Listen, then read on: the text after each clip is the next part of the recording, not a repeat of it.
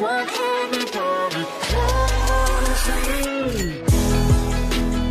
you know that wire fraud is on the rise? It is also completely preventable.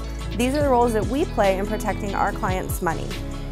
As a listing agent, please tell your seller that we'll be contacting them at the close of escrow to verify their wire instructions. This is simply to ensure that their money is going to their account and no one else's. When you're working with a buyer, please make sure your buyer knows that we will never provide an account number via email. Account numbers will always be provided verbally. So they can give us a call, quick five second call we'll let them know the account number. They can go to their bank, wire their earnest money deposit, and that way their money is definitely coming to escrow. If you have any questions, please think of Legacy First Escrow for your next transaction.